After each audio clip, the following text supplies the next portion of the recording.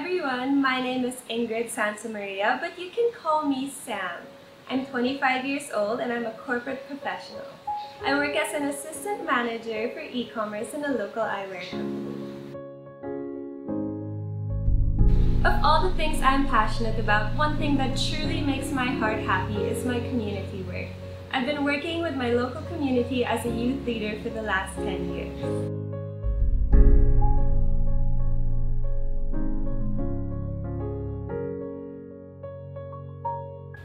Apart from that, I'm also into music and sports, having come from a family of artists and athletes. One thing I love about music and sports is that they are creative expressions of the endurance of the human spirit.